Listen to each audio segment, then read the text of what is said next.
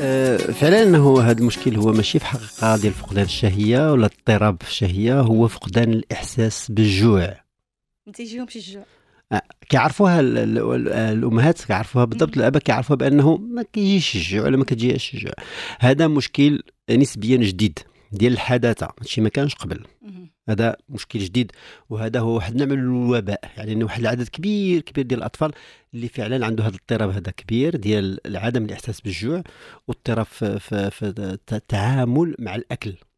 هذا المشكل هذا يؤدي في كثير من الأحيان أنه الأطفال كيبقاو صغار كيكونوا ضعاف. تيزيدوش الوزن. وما. كيزيدوش الوزن وهذا كيشكل واحد العائق كبير واحد مشكل كبير للآباء والأمهات.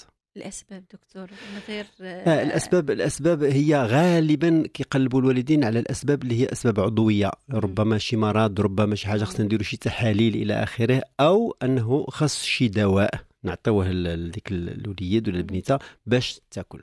هادو بجوج بهم جوج المواضيع اللي في حقيقه آه، لا علاقة لهم بالموضوع لأنها موضوع هواجه مهم. كاضطراب في التصرف والحل ديالو خصو يقلب عليه الواحد في تغيير التصرف ديال الطفل أو الطفلة. إذا جاوبتيني على بالنسبة ما هو الحل يعني خص تغيير في التصرف أو طريقة التعامل مع الطفل.